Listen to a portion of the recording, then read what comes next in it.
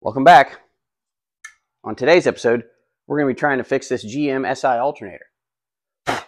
Never, never mind the mud and the grass stains. Those will come out. I sure hope so. This alternator is the one that came out of our 1975 El Camino. That one. And it's no longer alternating like it should. Uh, the only thing it's alternating between now is charging and not charging, which actually might be what it's supposed to do, but not in the way it's supposed to do it. Uh, I've got a whole bunch of spare alternator parts. I don't know what I ordered that for, but it's definitely for a GM style alternator. So let's see if we can get this thing working. First thing we need to do, uh, from what I can remember, having done this all of maybe once or twice, I'm a pro, buddy. A real pro. is we'll split this case. There we go. All right. And just like when you're taking a carburetor apart, try to set stuff in order off to the side so you know if you did this way to take it apart, it's going to be that way going back together. There we go. So here we've got our rotor because it rotates, You don't say. uh, which is a lot of wires and a magnet. Look at that. A lot of wires uh, makes a magnety thing. This is where uh, you've got two brushes that ride on these two collars right here. They look like they're one piece, but they are separated. I think that's carbon or some sort of fiber in between. Uh, either way, I, this is not the problem, so we're just going to leave this half alone. Now, uh, we need to figure out how to get the rest of this apart here. Hmm. Well, let's go ahead and take this other nut off the back because I think that's something. Should be a 9 16 Appears to be. It's like somebody is racing chainsaws in the background. I don't know what they're cutting down, but there's multiple people doing it, whatever it is. We can see inside here.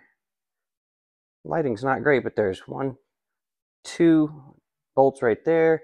There's one, two, three there, and there's one right there. And they all look to be quarter inch, probably.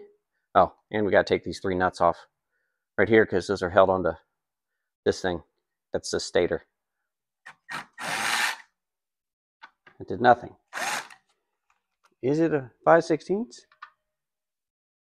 Maybe it is. Huh. It is most definitely not a 5 16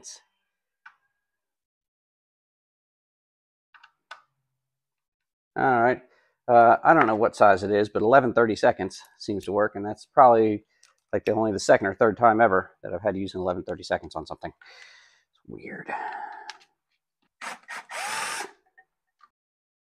One, two, a three.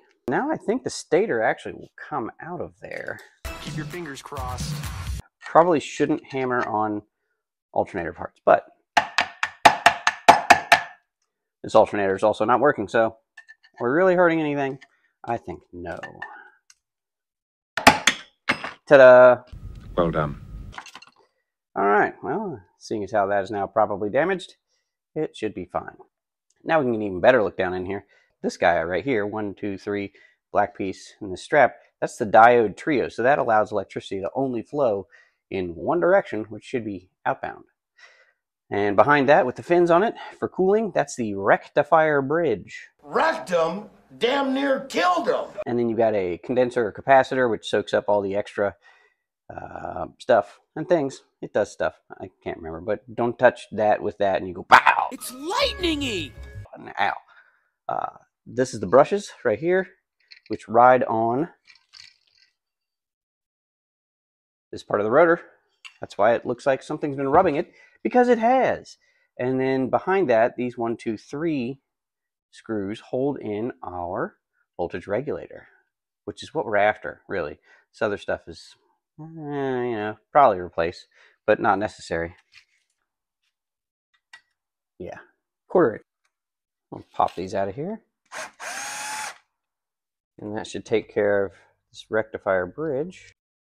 There we go. Let's just finish off this diode trio.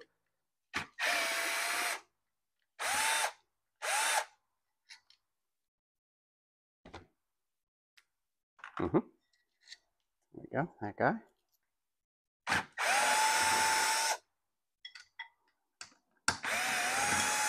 I'm guessing that this is some sort of fuse or some sort of heat sink or something. Not sure. Don't really know. Haven't a clue, boy. Here is our brushes. They're, they're worn in pretty good, but the springs that we had go in here. We're going to put them back in and I'll show you how to hold those in place. Just like that. Mm -hmm, mm -hmm. Then use like a small screwdriver and push that brush down just until it gets past the hole that's in the end of that. See that hole? Yeah. Then what you're going to do is you're going to take like a finishing nail or something. You're going to block that hole. That's going to hold that one in place. And then you're going to do it to the other side. Push the brush down just like that. And get a screwdriver, small one. Push down this way. Hard to do with two hands and show it on camera and whatnot and so forth. There we go. Brushes are in place. They're not going anywhere. We're not even saving these, but that's how you hold the brushes in place. Fascinating. That was holding in our voltage regulator, which is bad. Then the only thing left in this case is that uh, condenser, capacitor, whatever. Just be careful with it. Could have shocking results. All right, there and there. Wonder if we shouldn't just clean this out. Well, there's only one way I can think of to clean that. Super Clean. This is the brand new non-aerosol foaming Super Clean. Ooh. I think that's way more than we actually need to use, but I had to show you that it's foaming and it's not aerosol. Look at that. It's a trigger. Just like that. Did you see that? Did you see that, Jerry? All right. Well, not perfect, but better. We'll take it. So I guess that means time to reassemble. Uh, okay.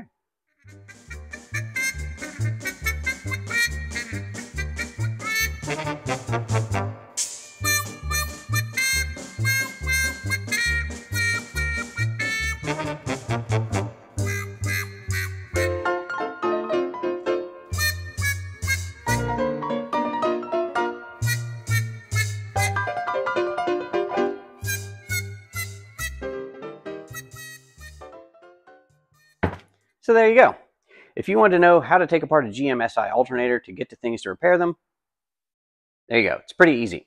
If you want to know how to properly diagnose the alternator and uh, know what you're repairing, make sure it works, well, that's not this channel, at least not today. So, this guy's going on the shelf.